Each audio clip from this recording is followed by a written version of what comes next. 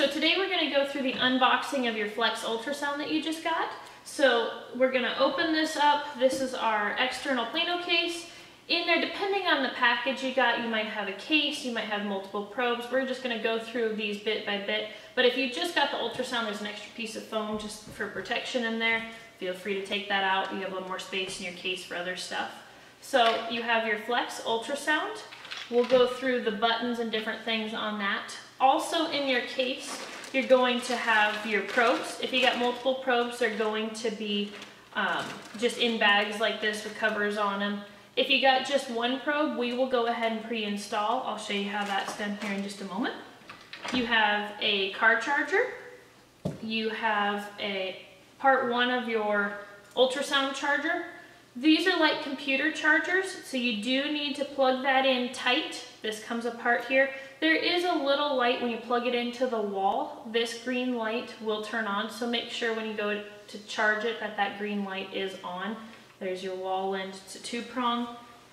You have two straps, so if you want to hang the Flexx either from a stand or over your chest, kind of crisscross over your chest, there are two straps, lots of different mounting options there. There is a USB thumb drive with some more training material. There's also lots of great training material on our newsletter and our YouTube page as well.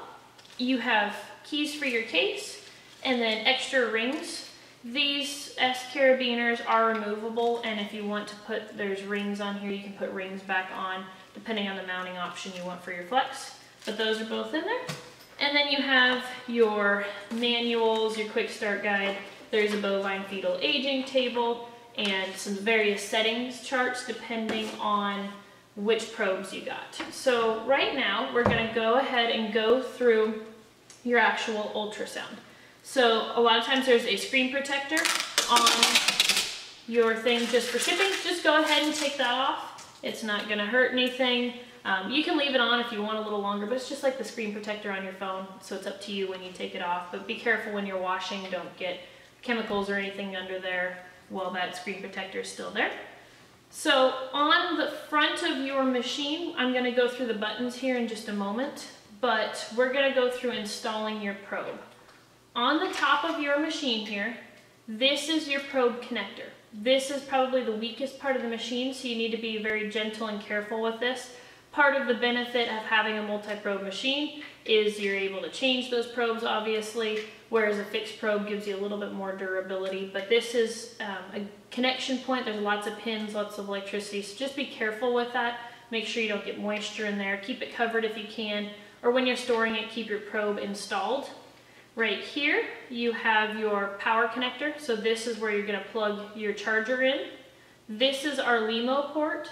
So if you purchased goggles or you wanna go out to our external monitor or to any VGA, you can get a cable and go right there. If you're not using it, just plug that little tab in, squish it in. Um, you have a power button, a freeze button, and an exam button, and then there's some lights on top here that'll indicate whether it's charging or on, things like that. We do have more videos also up on YouTube that will go through the buttonology and settings more in depth.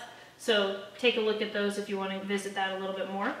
But as far as taking your probe out, plugging it in for the first time, you've got the end of your probe. It's probably hard to see on here, but there is a little slot. And on your ultrasound, there is a little line. So you need to line the slot up with the line and it will just gingerly press down and then you will twist that collar. It's a pretty tight connection so you do want to make sure that collar is screwed all the way down. That's just giving it extra protection so if there is a yank or a pull, things like that, um, hopefully it keeps it as st stable as it can. So once your probe is screwed in, make sure it's screwed all the way down, go ahead and turn your machine on. Make sure whenever you are changing probes that that power is turned off. You always want to change probes or plug probes in with power turned off. That's what this handy dandy little sticker says. So just make sure you turn your machine off before you switch probes. So now our machine is on. We just obviously just hit the power button there on the top to turn it on. So the end of my probe, we've got the little case here. This, this is just a micro convex probe. The gray part is the most delicate part of your probe. Please be careful and try to cover that when it's not in use. So if I just push on my hand there, we can see we have an ultrasound image.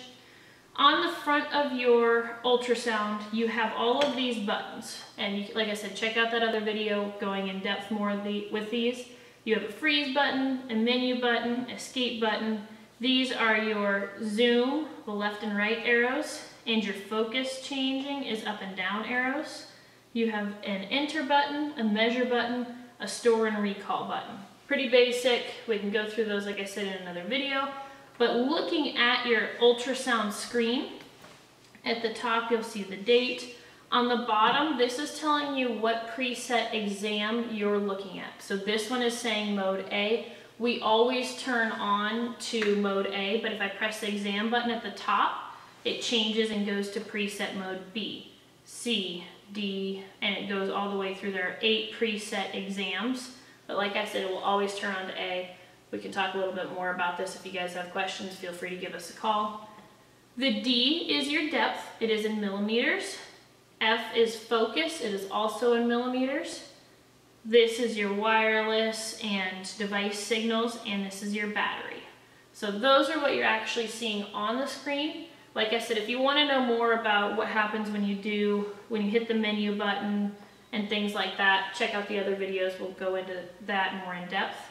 The last thing I want to highlight on this Flexx machine are the sides.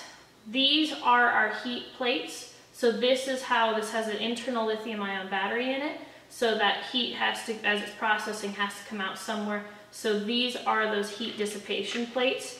There's a little warning sticker on there. They do get warm, that is normal. You want them to dissipate heat. So just make sure, depending on how you're set up and how your stands are, that these can have good airflow and have that heat dissipation through it. But if you have any other questions, just let us know.